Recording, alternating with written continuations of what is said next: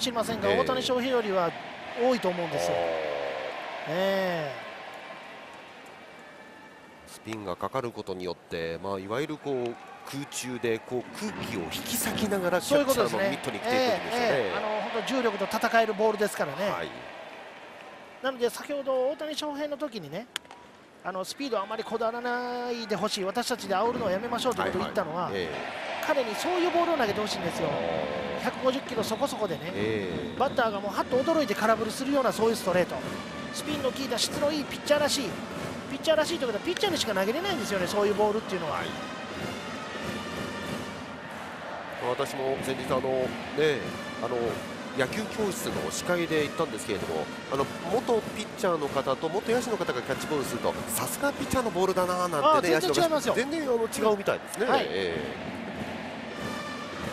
さあ田中賢介は追い込まれていますうん空振りの三振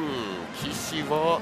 ファイターズ2番の1、2、3番を one、two、three のスタートとなっています。